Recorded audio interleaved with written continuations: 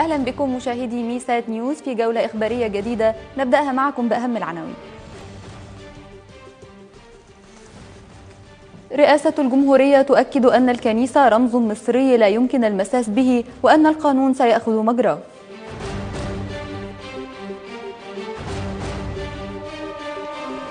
انتهاء فعاليات مسيرة وحدة الصف أمام الكاتدرائية المرقسية بالعباسية أمس والمطالبة بمحاسبة المسؤولين.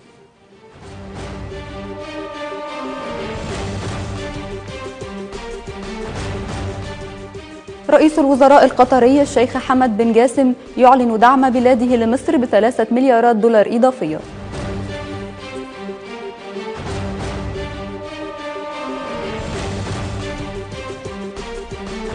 إلى حضراتكم تفاصيل النشرة. كلف الرئيس محمد مرسي وفدا من رئاسة الجمهورية بزيارة الكاتدرائية المرقسية بالعباسية وذلك للاطمئنان على الوضع ونقل رسالة واضحة. مؤداها أن الكنيسة رمز قبطي مصري لا يمكن المساس به وأن القانون سيأخذ مجراه وستكشف التحقيقات عن مثير الشغب ومرتكبي أعمال العنف وستتم محاسبتهم. مزيد من التفاصيل في التقرير التالي. في محاولة لتهدئة الأوضاع زار وفد من رئاسة الجمهورية الكاتدرائية المرقسية بالعباسية للالتقاء بالقيادات الكنسية في محاولة لاحتواء الأزمة التي تواجهها مصر بعد الاشتباكات الطائفية التي شهدتها مؤخرا. الوفد الرئاسي ضم كلامين عماد عبد الغفور مساعد رئيس الجمهورية لشؤون التواصل المجتمعي وبكينام الشرقاوي مساعد رئيس الجمهورية للشؤون السياسية وأيمن علي مستشار رئيس الجمهورية لشؤون المصريين في الخارج. وكان في استقبالهم نيافة الأنبا موسى أسقف الشباب ونيافة الأنبا إرميا الأسقف العام ورئيس المركز الثقافي القبطي الأرثوذكسي والقمص سرافيم السورياني والقمص مكاري حبيب والقس أنجيلوس إسحاق من سكرتارية قداسة البابا تودروس الثاني والقمص سرجيوس سرجيوس وكيل البطريركية والقس باسيليوس صبحي عضو بيت العائلة المصرية. ورفض الوفد الرئاسي التعقيب على أحداث الخصوص والكاتدرائية مؤكدين أنهم يحملون رسالة واضحة من الرئاسة مؤداها أن الكنيسة رمز قبطي مصري لا يمكن المساس به وأن القانون سيأخذ مجراه وستكشف التحقيقات عن مثير الشغب ومرتكب أعمال العنف وستتم محاسبتهم. الجدير بالذكر أن المجلس الملي العام للأقباط الأرثوذكس كان قد أصدر بيانا حمل فيه رئيس الدولة والحكومة المسؤولية الكاملة عن الأحداث التي وقعت في محيط الكاتدرائية ومنطقة الخصوص معتبرين أن الاعتداءات الأخيرة أتت نتيجة تراخي الدولة وكل مؤسساتها عن القيام بدورها اتجاه تطبيق القانون على الجميع بدون تفرقة. مطالبين بتحقيق مستقل في الأحداث الأخيرة. وعلى صعيد متصل أنهى المشاركون في فعاليات مسيرة وحدة الصف ودور العبادة خط أحمر. وقفتهم الاحتجاجية أمس أمام الكاتدرائية المرقسية بالعباسية للتنديد بأحداث العنف التي شهدها محيط الكاتدرائية. وكانت الفعاليات قد بدأت بمظاهرة حاشدة أمام مسجد الفتح برمسيس ثم مسيرة إلى مقر الكاتدرائية والتي انتهت بالوقفة الاحتجاجية التي ردد خلالها المتظاهرون هتاف تطالب بحماية دور العبادة ونددوا بما اعتبروه انفلاتا أمنيا. وحمل المتظاهرون وزارة الداخلية مسؤولية أحداث العنف في محيط الكنيسة مؤكدين أن التقاعس الأمني ساهم في توسيع دائرة الاشتباكات. مطالبين بسرعة التحرك العاجل من مؤسسة الرئاسة لوقت أي محاولة لإشعال الفتنة بين المسلمين والأقباط. جدير بالذكر أن الفعاليات شارك فيها قرابة عشرين حزبا وحركة سياسية وثورية.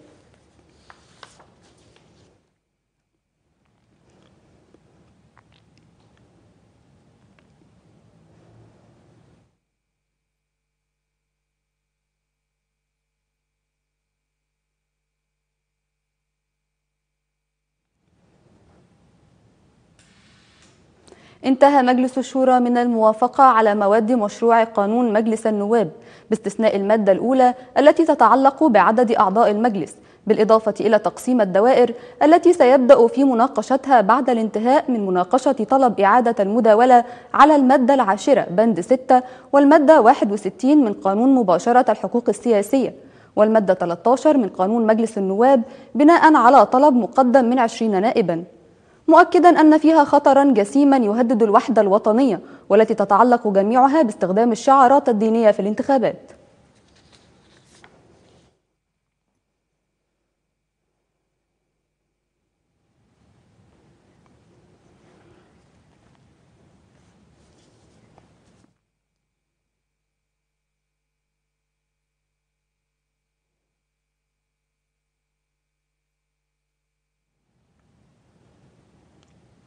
أعلن المهندس حسين زكريا فضالي رئيس هيئة السكك الحديدية انتظام حركة قطارات الوجهين القبلي والبحري بنسبة 80% حيث خرجت جميع رحلات الوجهين بتأخيرات ما بين ساعة إلى ساعتين متوقعا انتظام الحركة تماما على جميع الخطوط خلال الساعات المقبلة مع نهاية التشغيل. وقال زكريا إنه تم تشكيل لجنة من قطاعي المسافات الطويلة والقصيرة لحصر الخسائر الناجمة عن الإضراب والتي تقدر بتسع ملايين جنيه خلال اليومين. من جانبه تعهد دكتور رجب موسى نائب وزير النقل بانتهاء أزمة سائقي القطارات الواصل إليهم استدعاءات من الجيش لتكليفهم للعمل بالقوات المسلحة اليوم مشيرا إلى أنه لا صحة عما تردد من احتجاز هؤلاء السائقين من قبل القوات المسلحة.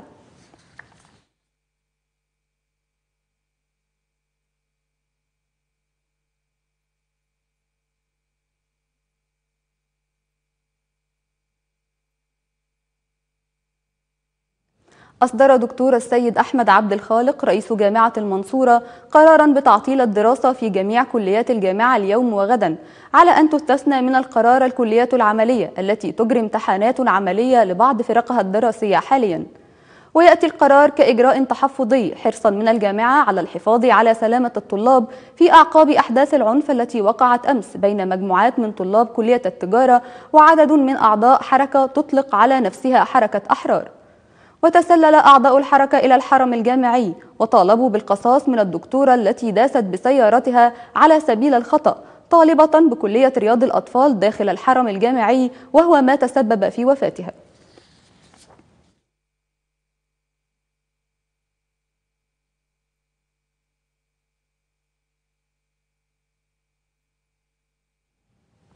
أعلن الشيخ حمد بن جاثم آل ثاني رئيس مجلس الوزراء وزير الخارجية القطري أن بلاده قررت تقديم دعم إضافي إلى مصر قدره ثلاثة مليارات دولار في صورة سندات أو وديعة من الحكومة القطرية إلى الحكومة المصرية. وسيتم العمل خلال الأيام المقبلة بين الجهات المختصة لتنفيذ هذا القرار. وقال الشيخ حمد بن جاثم في مؤتمر صحفي مشترك عقده اليوم ودكتور هشام قنديل رئيس مجلس الوزراء بالدوحة عقب جلسة المباحثات المصرية القطرية أن بلاده قررت مساعدة مصر وتزويدها بالغاز الطبيعي لمواجهة العجز في هذا القطاع وبخاصة في فصل الصيف. وأضاف أن قطر قررت السماح للشركات المصرية بالعمل في قطر مباشرة ودون الحاجة إلى نظام الكفيل وذلك تقديرا لمصر. في ثلاثة أشياء. الشيء الأولاني هو العلاقات وكيفية دعم العلاقات بصفة خاصة ما بين الدولتين الشقيقتين. الموضوع الثاني الاستثمارات القطرية القائمة في مصر وكيفية تفعيلها وتدعيمها كما تعلمون الاستثمار القطري في مصر حتى الآن ليس كما يشاع يعني كبير ولكن يعني الترتيب ما بين 18 و20 ترتيب الاستثمار القطري كحجم استثمار للمستثمرين الأجانب في مصر من 18 ل 20 فإحنا بنريد أن ندفع بالاستثمارات القطرية لمستوى أكثر من أكثر من ذلك. فتفعيل القائم وزيادة الاستثمارات في العديد من المجالات كما ذكرنا في مجالات الصناعة أو في مجالات السياحة أو في مجالات الطاقة أو مجالات البترول. كل هذه المجالات إن شاء الله بتطرح للمستثمرين يتقدم إليها الجانب القطري. ونأمل أن تكون هناك استثمارات كبيرة لأن السوق المصري سوق واعدة. وعندما يستثمر أحد في مصر ليس ليس يعني يعني يتمتع بإتاحة سوق للسوق المصري وهو 90 مليون ولكن نتيجة الاتفاقات الثنائية والإقليمية مع الدول العربية والأفريقية وأوروبا وأمريكا يكون هناك إتاحة لسوق بحجمه 2 مليار. فالاستثمار لجميع الدول في مصر هو استثمار واعد. فإحنا هذه الزيارة الحقيقة بكورة عدة زيارات نقوم بها لعدد من الدول للتشجيع على الاستثمار في مصر. هذه الزيارة ناجحة إن شاء الله. وبنشكر الحقيقة الإخوة القطريين على دعمهم المستمر للشعب المصري خاصة ما بعد ثورة يناير. ودوت يعني ترجم إلى ليس فقط زيارات ما بين مسؤولين ورجال أعمال ولكن أيضا إلى أعمال على الأرض. وآخرها كما ذكر يعني أعمال على الأرض لصالح الشعب المصري. كما ذكر الأخ حمد موضوع أن يكون في وديعة إضافية سندات ب 3 مليار دولار من الجانب القطري للجانب المصري لدعم الاقتصاد. قال أشرف العربي وزير التخطيط والتعاون الدولي إن قطر من أكبر الدول التي تساند مصر في الفترة الحالية. وأشار العربي إلى أنه حتى هذه اللحظة فإن المفاوضات مع بعثة صندوق النقد الدولي تدور عن 4.8 من المليار دولار ومن الوارد أن يزيد الطلب عن هذا المبلغ. وتوقع وزير التخطيط والتعاون الدولي أن يتم الانتهاء من المباحثات مع البعثة الفنية لصندوق النقد الدولي خلال أسبوعين مشيرا إلى أن التوصل إلى اتفاق مع البعثة الفنية يعد الخطوة الأهم في المفاوضات مع الصندوق.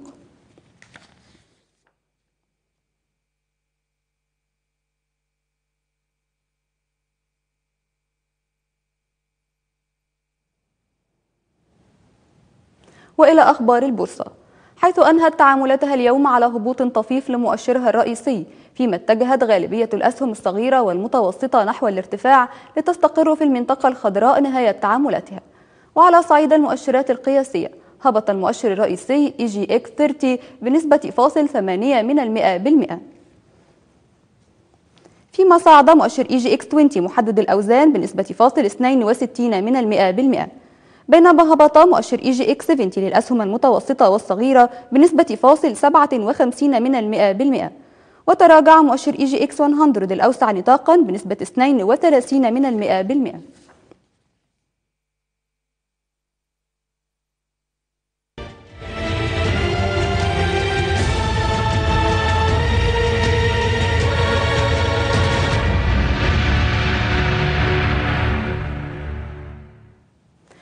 العنف في سوريا حيث سقطت قذيفة هاون داخل حديقة مبنى السفارة المصرية في دمشق إلا أنها لم تسفر عنها إصابات أو أضرار يذكر أن مقر السفارة المصرية يقع في منطقة كفر سوسة بدمشق ويجاور مبنى وزارة الداخلية السورية وقد تعرض المبنى لبعض التلفيات خلال الانفجار الذي شهدته وزارة الداخلية شهر ديسمبر الماضي وتم تجميد العمل بمقر السفارة المصرية منذ فترة مؤقتا.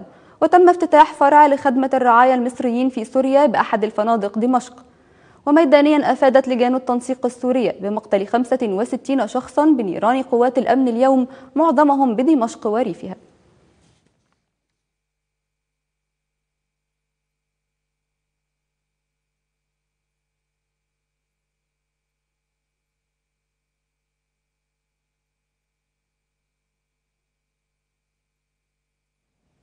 وفي سياق متصل يلتقي وزراء خارجية عدد من دول مجموعة الثماني. بينهم الأمريكي جون كيري يلتقون المعارضة السورية في لندن قبل اجتماع الخميس للدول الصناعية الكبرى والذي ستهيمن عليه الأزمة السورية إلى جانب الملف النووي الإيراني وملف كوريا الشمالية.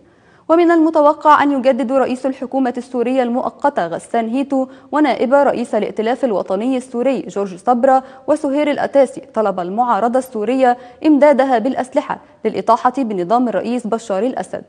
وأعلن كيري الذي وصل إلى لندن أمس أن الوزراء سيبحثون مختلف السبل للتأثير على حسابات الرئيس الأسد بشأن الاتجاه الذي يسير فيه الوضع على ساحة المعركة.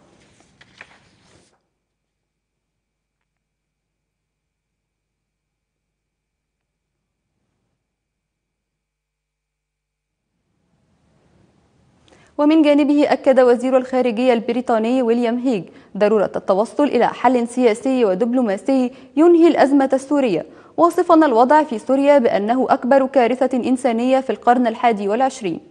ودعا هيج إلى تحرك دولي فاعل لمعالجة الأزمة السورية مؤكدا أن بلاده وفرنسا متفقتان على ضرورة التحرك لإنهاء العنف في سوريا رغما عن قلة الخيارات المتاحة وفق تعبيره. وأعلن هيج معلقا على جدول أعمال اجتماع مجموعة الثماني. إن الأولوية على جدول أعمالنا ستكون الوضع في سوريا وسيكون هذا أول موضوع سنناقشه.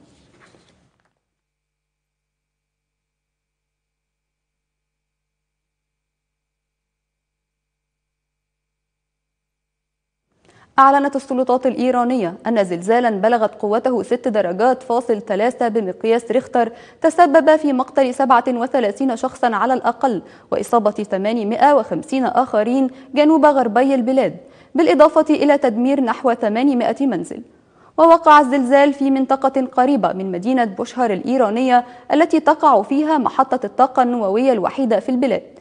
يأتي هذا فيما أكد مسؤول في البرنامج النووي الإيراني أن محطة بوشهر لم تتضرر وأنهت فرق الإنقاذ مهمات البحث والإغاثة في المنطقة حيث أعلن رئيس الهلال الأحمر الإيراني أن عشرين ناجيا كانوا عالقين تحت الأنقاض تم إسعافهم.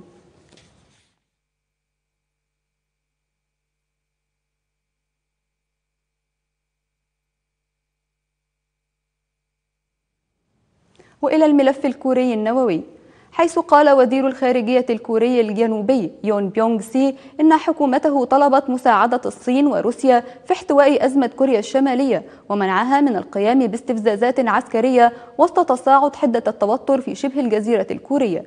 ونقلت وكالة أنباء يونهاب الكورية الجنوبية عن الوزير يون قوله أنه من خلال التعاون والتنسيق مع بكين وموسكو ستواصل الحكومة الكورية بذل مساعيها لإقناع بيونغ يانغ بتغيير موقفها الراهن.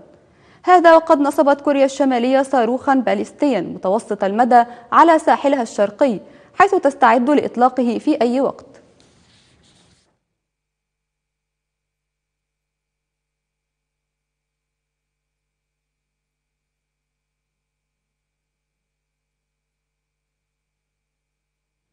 فجر مخربون مجهولون اليوم خط أنابيب للغاز الطبيعي في مدينة جعفر أباد بإقليم بلوشستان جنوبي غربي باكستان. وهو ما تسبب في إلحاق أضرار مادية واشتعال النيران بخط الأنابيب وأكد المسؤولون في شركة الغاز أن مجهولين نسفوا خط الأنابيب الممتد من مدينة سوي بلوشستان إلى مدينة كراتشي جنوبا ولكن تمت استعادة إمدادات الغاز إلى كراتشي من خلال خطي أنابيب بديلين. يذكر أن نفس خط الأنابيب هوجم قبل يومين وتم إصلاحه واستعادة إمدادات الغاز قبل ساعات من تعرضه للهجوم مرة أخرى وتفجيره.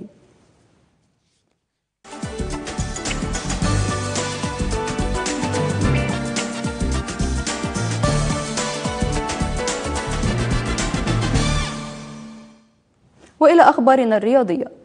يغادر مطار القاهرة الدولي اليوم العمري فاروق وزير الرياضة والوفد المرافق له إلى اسطنبول لتوقيع بروتوكول تعاون بين البلدين في المجال الرياضي. ويشمل البروتوكول تبادل الخبرات وإقامة مباريات ودية بين المنتخبات بمختلف أعمارها وذلك تلبية لدعوة من وزارة الرياضة التركية.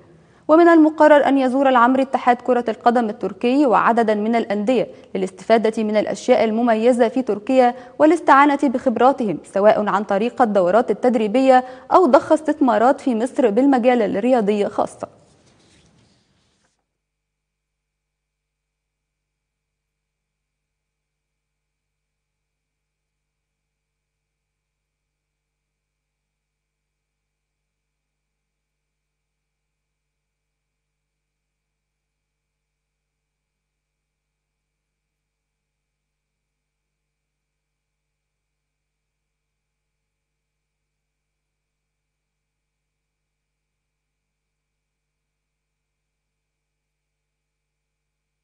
وإلى النشرة الجوية والتي نستعرض من خلالها أحوال الطقس غدا كما يتوقعها خبراء الأرصاد الجوية حيث يستمر الطقس لطيفا على السواحل الشمالية معتدلا على باقي الأنحاء نهارا باردا ليلا.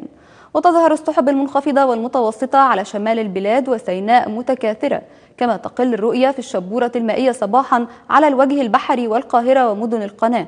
والرياح أغلبها شمالية غربية خفيفة إلى معتدلة. تنشط على خليج السويس والبحر الأحمر وتؤدي إلى اضطراب الملاحة البحرية. وإلى حضراتكم بيان بدرجات الحرارة الصغرى المتوقعة الليلة والعظمى غدا.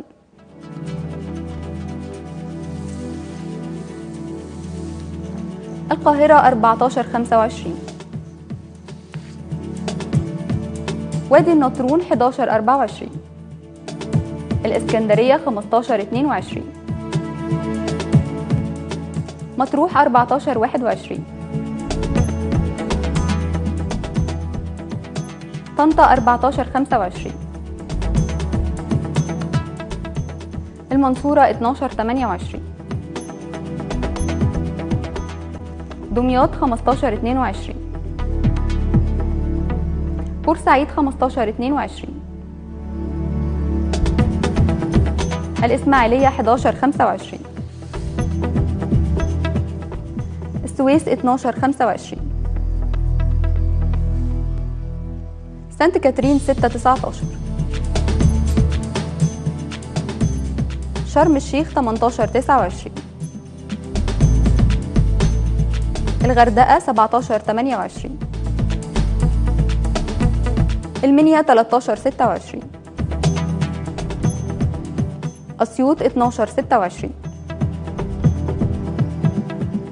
سوهاج 13 27 قنا 14 28 الأقصر 15 29 وأخيرا أسوان الصغرى 17 والعظمى 29